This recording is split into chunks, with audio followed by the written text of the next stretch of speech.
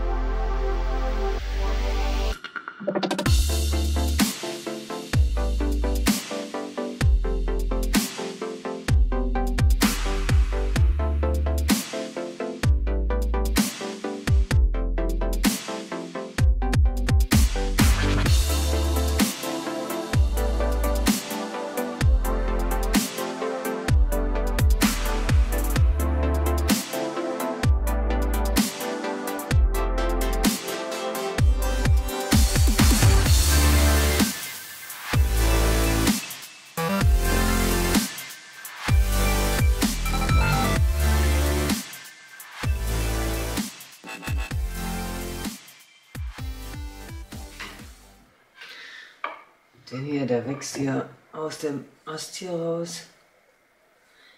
Den möchte ich mal noch behalten. Sieht man das? Ja.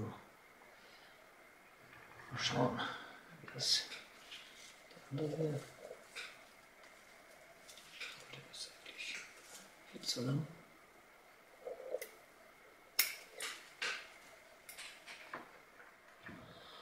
Ja, so will ich es jetzt erstmal lassen. Und wie gesagt, lass, wir lassen erstmal noch mal ein bisschen weiter wachsen und dann schauen wir da noch mal drauf zwischendurch. Im Prinzip schaue ich da jeden Tag drauf. Im Moment ist es auch wirklich spannend draußen auf meinem Bonsai-Tisch. Überall sprießen die kleinen Bäumchen und ja, das war schon ganz gut so. Ich zeige euch noch mal kurz hier das Nebari. Ein bisschen von näherem, das sieht nämlich ganz interessant aus. Ja, ihr seht hier das Nebari. Mir gefällt das total gut.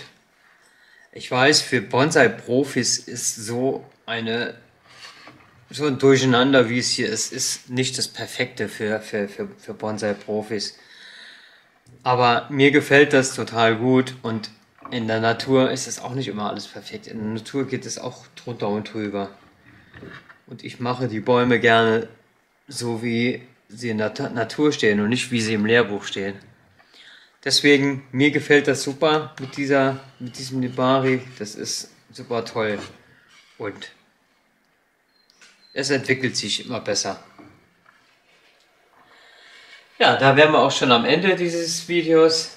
Ich bitte euch, wie gesagt, äh, schreibt in die Kommentare, was denkt ihr, ist das für ein Baum?